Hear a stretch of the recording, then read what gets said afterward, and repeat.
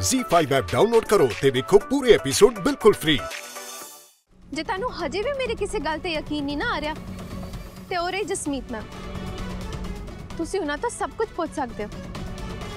ਕੀਰਤ ਆ ਸਭ ਕੁਝ ਕਰਨ ਵਾਲੀ ਹੈ ਇਹ ਮੈਨੂੰ ਪਹਿਲਾਂ ਤੋਂ ਹੀ ਪਤਾ ਸੀ। ਆ ਗਨ ਚਲਾਉਣਾ ਨੱਚਣਾ ਨਚਾਉਣਾ ਆ ਸਭ ਤੁਹਾਡਾ ਹੀ ਪਲਾਨ ਸੀ।